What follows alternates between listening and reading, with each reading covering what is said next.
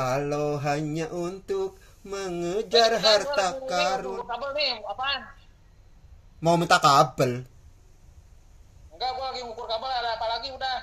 Udahlah, kan udah tak info-infoin dengan jitu. Itu kalimatnya begitu jelas enggak sih kalimatnya? Enggak jelas. Nggak jelas orang nggak dibaca. Makanya jangan sibuk kerja terus, baca dong pengetahuan. Udah. Ya. Yowis, selamat bertugas negara. Wah, jelek tuh. Rokok apa itu?